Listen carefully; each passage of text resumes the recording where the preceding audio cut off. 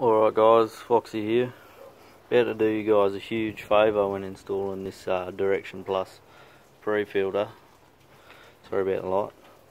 Righto, so what you got to do is down there, you got to take that bolt out down there. Okay. Got to disconnect these two bolts here.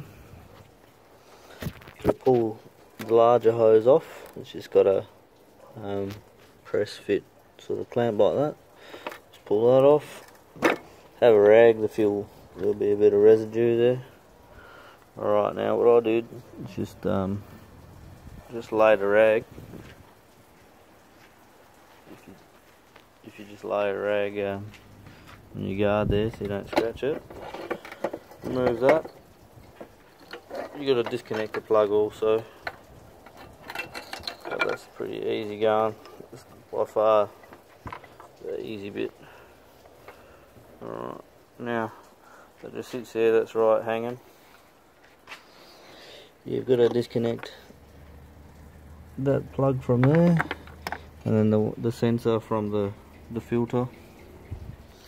Righto, um, once you've done that, you got to take the two bolts off the side of this solenoid, which I've already done.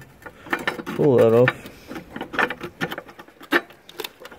Pull it to one side. It's a good idea disconnect battery while you're playing with fuel and electrics. Alright, now that just comes out.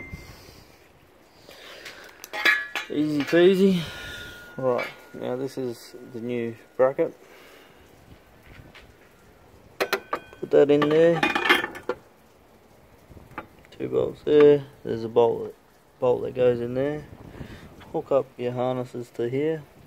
Your fuel manager um, filter goes there and your solenoid bolts up to these here. Don't do what I did and try to figure out for about 15 minutes how this the old bracket goes bloody back in. You don't need it. So do yourself favour listen to the fox. Throw that piece of shit away. Cheers